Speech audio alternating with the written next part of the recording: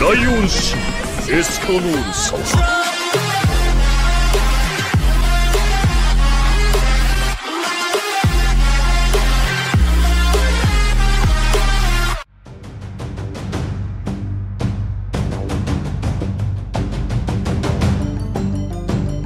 Bella a tutti ragazzi, qui Vedata Channel con un nuovo video. L'abbiamo aspettato, atteso, bramato, richiesto impazientemente, ma finalmente eccoci qui con la nuova stagione di Demon Slayer, ufficialmente partita in data 5 dicembre. C'è da dire che è stato difficile capire come chiamare questa stagione. C'è chi la chiamava Season 2 Episodio 8, collegandola quindi a Mugen Train Arc, la serie. Da una parte stava scritto Season 2 Episodio 1, da un'altra Entertainment District Arc, Episodio 1, ma alla fine quella corretta è Season 2 Episodio 1 e abbiamo aggiornato anche la copertina per questo questo. Per vedere la serie la trovate benissimo su Crunchyroll, con un abbonamento premium gratis per 30 giorni la prima volta e poi 5 euro al mese. Non siamo sponsorizzati, è semplicemente disponibile lì.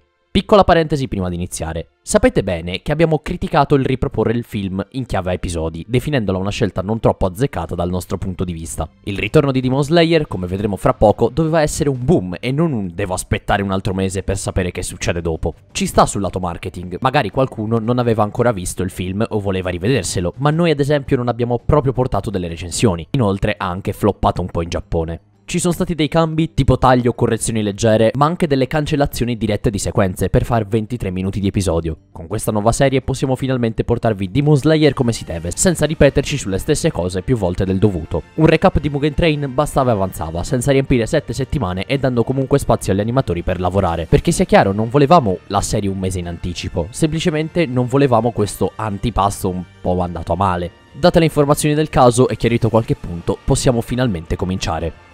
Questo primo episodio è qualcosa di superbo, uno start di qualità tipico ormai dello studio di animazione e segnato anche nell'episodio pilota di Mugen Train Arc. Su quello non abbiamo nulla da ridire e tantomeno con questa nuova serie. Sulla carta siamo ancora nell'arco del treno, giusto gli ultimi capitoli conclusivi per poi passare al successivo. Partiamo con un piccolo flashback della morte di Kyojiro nell'ultima battaglia vista, ancora devastante nelle menti dei protagonisti.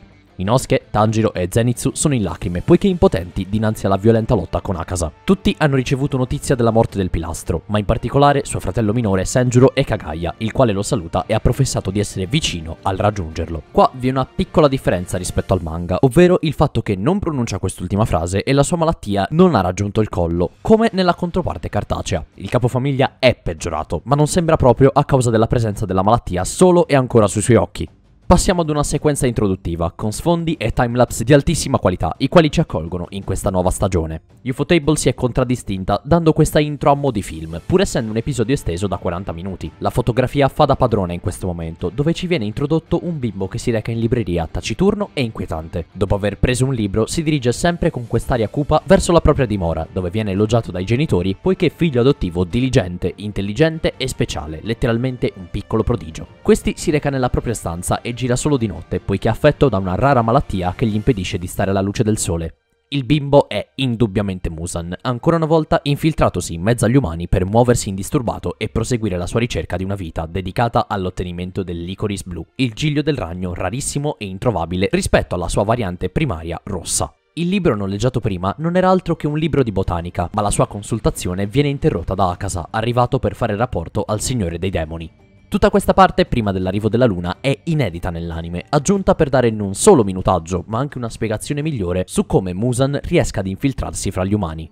Rispetto alla violenza, il demone utilizza approcci decisamente ponderati. Logica e intelletto fanno da padrone, per sfruttare gli scenari migliori per il suo obiettivo, mettendo alla luce la sua meschinità e cinismo. Tornando all'arrivo di Akasa, la Luna ha dichiarato di aver ucciso un pilastro nella sua missione, non trovando però alcuna traccia del fiore tanto ricercato. Nonostante sia un traguardo ai suoi occhi, Musan non è per niente felice, tanto da colpire il suo sottoposto dritto dal suo sangue con un'onda d'aria, la quale distrugge persino le finestre dietro di lui. Con la semplice attivazione fa pompare i vasi sanguigni della Luna, facendolo agonizzare e sputare per l'enorme dolore. Banalmente per lui i demoni battono gli umani, quindi non deve compiacersi per aver ucciso un solo pilastro. È naturale che siano loro a vincere, eppure si è lasciato scappare gli altri ammazzademoni presenti, compreso quello con gli orecchini a Nafuda, che è riuscito a colpirlo. È stato colpito da un cacciatore di bassa lega. Akasa viene denigrato per il suo fallimento dal suo superiore, il quale si accanisce anche sul libro appena preso e, con sguardo iracondo, continua a torturarlo. La scena è fenomenale, arricchita dalla colonna sonora. Il solo ripetere del nome della luna accresce il terrore, seguito dalla sofferenza continua. Il signore dei demoni congeda Akasa dandogli del rammollito, ma facendolo riprendere anche fisicamente e lasciare la stanza appena in tempo prima dell'arrivo del padre di famiglia.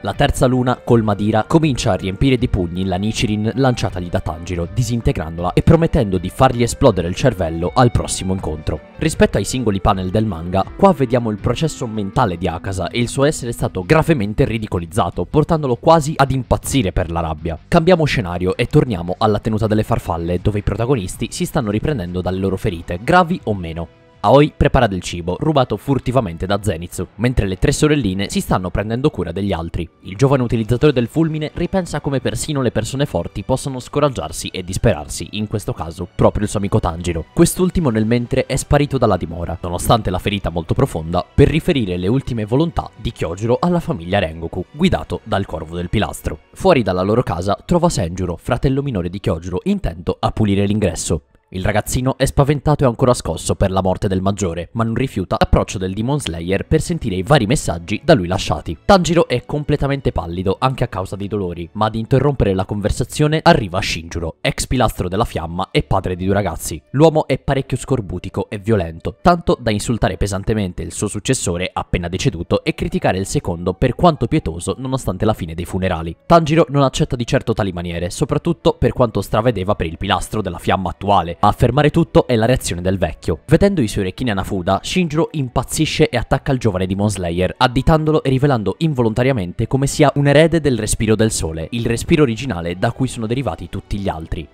Per sua conoscenza, l'uomo interpreta la sua venuta come un puro tentativo per prendersi gioco di loro. In tutto questo non si fa problemi anche a schiaffeggiare suo figlio. Tanjiro rimane basito nel sentire quelle parole, anche perché la sua famiglia ha avuto per generazioni l'identità di Carbonai, con usanza il tramandare la danza Kagura, non degli spadaccini così importanti e ancor meno dei semplici spadaccini in generale. Stanco di tutta quella situazione, Tanjiro scoppia in lacrime, poiché pieno di vergogna a causa della sua debolezza non è riuscito a salvare Kyojuro in quel momento. Questa è la verità e l'unica cosa che sta pensando. Non gli può importare meno l'essere o no un erede del respiro del sole. Stanco delle parole pesanti dell'uomo, va alla carica, prima fallendo un pugno e poi finendo la questione con una testata, riuscendo a tramortirlo. Finalmente Tanjiro e Senjuro possono parlare in santa pace, mentre l'uomo è andato in città a prendere del sake. I due ragazzi parlano ovviamente di Kyojuro e dei suoi ultimi momenti. Senjuro ringrazia il Demon Slayer per avergli raccontato le gesta del pilastro fino al suo ultimo respiro, per poi scoppiare in lacrime lacrime. Per sdebitarsi, dà a Tanjiro le annotazioni dei pilastri della fiamma di tutte le generazioni, così da scoprire qualcosa riguardo la danza Kagura e forse il respiro del sole. Purtroppo per loro il libro è completamente distrutto, strappato indubbiamente da Shinjuro. Ripensando al fratello maggiore, Senjuro racconta come non sia stato in grado di far cambiare il colore della sua Nichirin, nonostante gli allenamenti intensi con Kyojuro. Sarebbe dovuto diventare il suo allievo, ma per la mancanza di abilità nella scherma non ha mai raggiunto un livello tale da essere nominato Demon Slayer. Così facendo, non per colpa sua, ha rotto una generazione di secoli dei pilastri della fiamma, il cui respiro non potrà essere tramandato all'interno della loro famiglia. Per rimediare almeno in parte alla cosa, Senjuro dona Tanjiro lo Tsuba della spada di suo fratello, così da consacrare una simile eredità come allievo o successore. I due si salutano e Senjuro rientra in casa, proponendo al padre di sentire le ultime volontà del suo primogenito.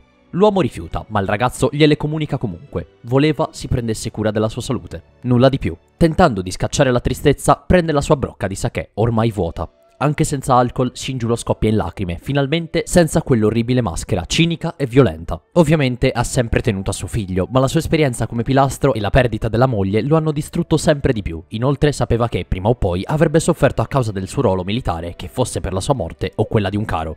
Tanjiro, per la via di casa, viene incrociato dal suo fabbro Aganezuka, intento ad ucciderlo per aver rotto l'ennesima Nichirin. Per quanto la scena sia tutta parodistica e semplice, comunque funziona perfettamente, anche se il loop è con animazione basilare. A salvare il ragazzo arrivano Oi e le tre sorelline a notte fonda, le quali riescono a farlo intrufolare alla tenuta tramite una porta di servizio. La mattina dopo, i tre ragazzi cominciano la loro giornata con un abbondante pasto, per poi allenarsi a più non posso giorno dopo giorno. Gli esercizi estenuanti temprano il loro corpo e, diciamolo per il meme, subiscono un'ipertrofia muscolare accentuata, a parte Inosuke che era già enorme. Dopo essersi ripresi, ricevono a testa delle missioni individuali, così da non lasciarli a mani vuote. Qui abbiamo una parte inedita di una missione di Tanjiro in un tempio contro un demone con le chele. Il ragazzo è sì diventato più forte, ma non sottovaluta per niente nemmeno queste missioni minori. Finalmente ha consapevolezza delle sue abilità e punta a migliorarle, sfruttando anche la coppia in battaglia creata con Nezuko, senza lasciarla da parte come faceva di solito. I due sono affiatati come non mai e completano la missione senza problemi, non lasciando nemmeno traccia del loro arrivo nel capannone di una famiglia lì vicino, nel quale si era rifugiato il nemico. Le musiche e la coreografia sono on point per creare le giuste atmosfere,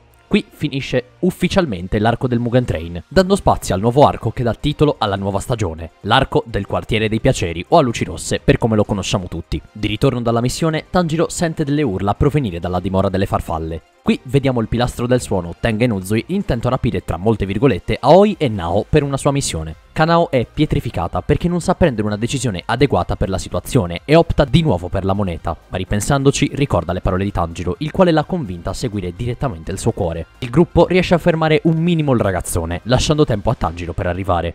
La situazione è un attimo confusa, anche perché non si capisce dal suo punto di vista se siano le altre ad aver attaccato il pilastro o viceversa. Tengen rivela i suoi piani e nessuno potrà fermarlo vista la sua posizione e avendo come superiore solo Kagaya. Kamado propone quindi uno scambio. Lui, Zenitsu e Inosuke in cambio di Aoi, così da prendere il suo posto nella missione. Il pilastro lascia in pace le ragazze, non prima però di aver schiaffeggiato il sedere di Aoi. C'era anche nel manga, non ci soffermiamo troppo, ma fa parte dell'ego di Tengen. Necessario? No. In character pure troppo, giapponesata assoluta.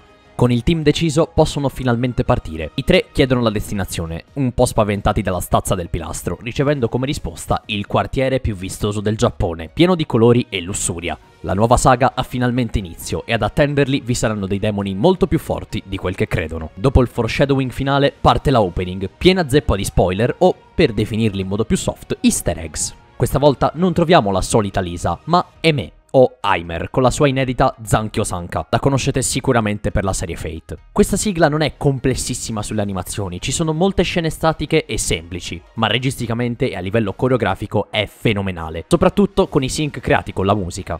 La semplicità fa da padrona, ma l'occhio ha la sua parte senza stonare in nessun momento. Non delude per niente le aspettative e anzi le innalza. La sigla è fenomenale e non ironicamente la stiamo ascoltando in loop da due giorni. Inizia con uno shot di Tanjiro che stringe fra le mani lo Tsuba di Rengoku per poi presentarci le tre mogli di Tengen. Lo shot successivo con i due ai lati dello schermo è lo stesso fatto per la serie sul Mugen Train, cambiando Kyojuro con il pilastro del suono. È letteralmente riciclato, ma crea una certa consistenza che non ci dispiace. Probabilmente verrà riutilizzato più volte. Ci viene fatta vedere la bellissima main villain in abiti parecchio eleganti, ma che non toglie spazio a Zenitsu, Inosuke e Nezuko in azione, quest'ultima in particolare che viene circondata da dei germogli. Vediamo anche una figura mai vista prima, nemmeno nelle art promozionali, per chi ha letto sa benissimo chi è, senza citarlo o nominarlo, un mini cameo apprezzato da chi segue. Con questo si conclude l'episodio, seguito da tutto un listone di persone che hanno lavorato a questo pilota. Ufotable non ha deluso le aspettative. Non ci potevamo aspettare di meglio per concludere un arco e iniziarne un altro. Un esordio con i fiocchi con un hype alle stelle, creato molto con le scene inedite aggiunte per riempire questi 40 minuti.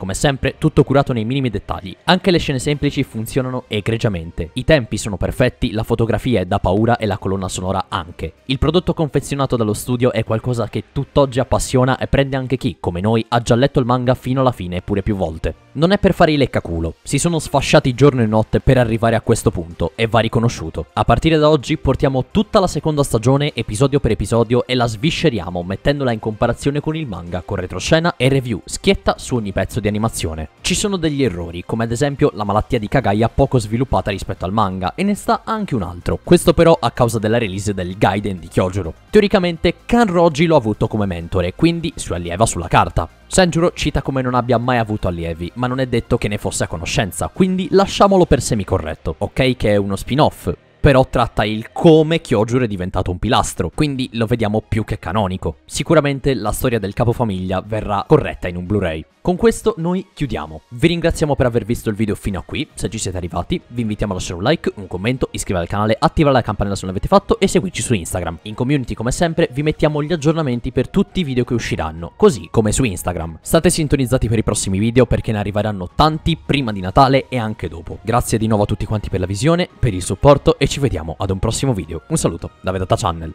Ciao!